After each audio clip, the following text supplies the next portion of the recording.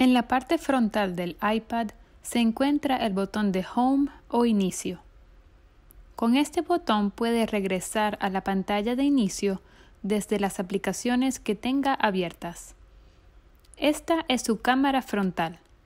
Puede usar la cámara para interactuar con su maestro y compañeros de clases.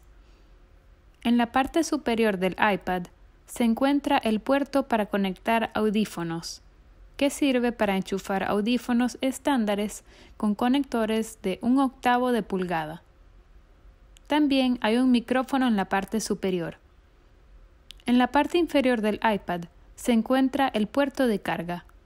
Aquí es donde colocará el cable para cargar su iPad. En la parte posterior del iPad, por la parte de arriba, verá el botón de encendido.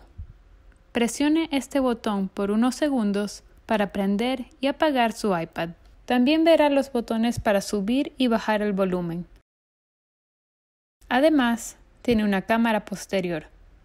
Puede usarla para tomar fotos de objetos que estén lejos de usted,